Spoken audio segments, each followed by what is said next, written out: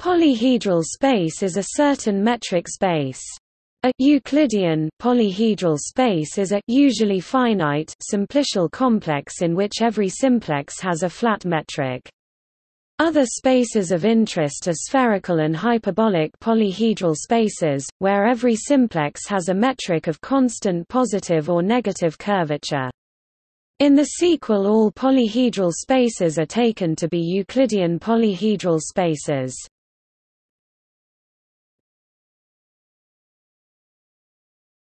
Topic: Examples. All one-dimensional polyhedral spaces are just metric graphs. A good source of two-dimensional examples constitute triangulations of two-dimensional surfaces.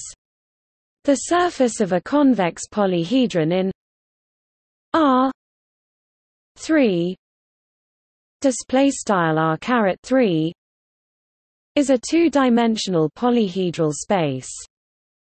Any PL manifold which is essentially the same as a simplicial manifold, just with some technical assumptions for convenience is an example of a polyhedral space. In fact, one can consider pseudomanifolds, although it makes more sense to restrict the attention to normal manifolds.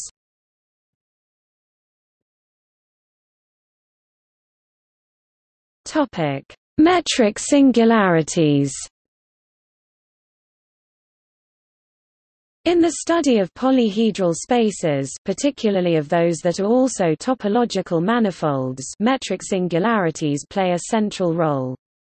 Let a polyhedral space be an n-dimensional manifold. If a point in a polyhedral space that is an n-dimensional topological manifold has no neighborhood isometric to a Euclidean neighborhood in R n, this point is said to be a metric singularity. It is a singularity of codimension k, if it has a neighborhood isometric to R nk with a metric cone. Singularities of codimension 2 are of major importance, they are characterized by a single number, the conical angle. The singularities can also studied topologically. Then, for example, there are no topological singularities of codimension 2. In a three-dimensional polyhedral space without a boundary faces not glued to other faces any point has a neighborhood homeomorphic either to an open ball or to a cone over the projective plane. In the former case, the point is necessarily a codimension 3 metric singularity. The general problem of topologically classifying singularities in polyhedral spaces is largely unresolved apart from simple statements that e.g. any singularity is locally a cone over a spherical polyhedral space one dimension less and we can study singularities there.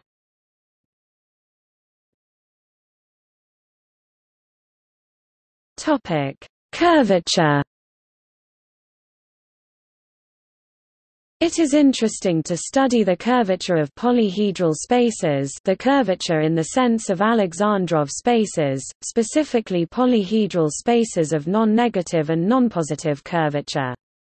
Non-negative curvature on singularities of codimension 2 implies non-negative curvature overall. However, this is false for non-positive curvature. For example, consider R cubed with one octant removed, then on the edges of this octant singularities of codimension 2 the curvature is non-positive because of branching geodesics, yet it is not the case at the origin singularity of codimension 3, where a triangle such as 0, 0, e, 0, e, 0, e, 0, 0 has a median longer than would be in the Euclidean plane, which is characteristic of non-negative curvature.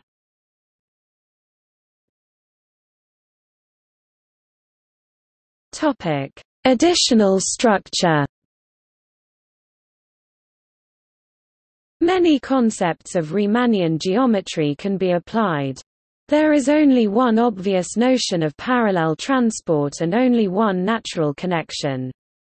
The concept of holonomy is strikingly simple in this case.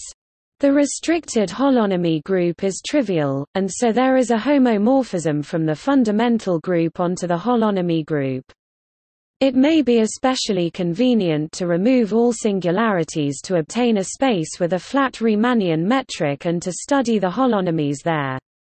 One concepts thus arising are polyhedral Kähler manifolds, when the holonomies are contained in a group, conjugate to the unitary matrices. In this case, the holonomies also preserve a symplectic form, together with a complex structure on this polyhedral space manifold with the singularities removed. All the concepts such as differential form, L2 differential form, etc. are adjusted accordingly.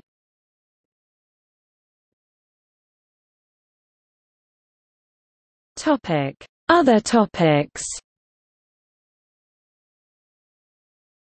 Another direction of research are developments of dynamical billiards in polyhedral spaces, e.g. of nonpositive curvature hyperbolic billiards. Positively curved polyhedral spaces arise also as links of points typically metric singularities in Euclidean polyhedral spaces.